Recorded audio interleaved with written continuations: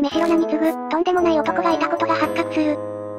ロナウド、メッシに次ぐ現役世界3位の代表通算得点数を誇るインドサッカー界のレジェンド、39歳のスニルチェトリが代表引退を表明した。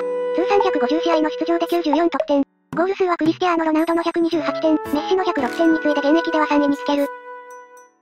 インドにこんなすごい選手がいたとは知らなんだ。インドかよ。イングランドかと思ったら、マジド・アブブラーと同レベルのアジアの英雄。嘘だろ、あのスニルが、大ファンでした。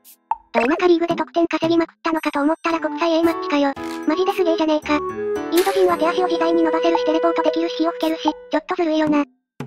大体の人が対戦相手のレベルによるって言うけど、インドの選手からしたら一般的に格下でも同じレベルぐらいの国が多いと思います。メッシとかよりはランクは落ちるとは思いますが、土俵は同じだと思います。どちらにせよプロ選手になり記録を残した。波の努力では達成できないことには変わりない。お疲れ様でした。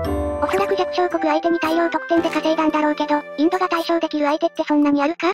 むしろアルゼンチンとかの方が隠したばっかりじゃねえか？メッシロナウド時代のサッカーを見続けて、結構マイナーなリーグも見てるつもりだったけど知らなかった。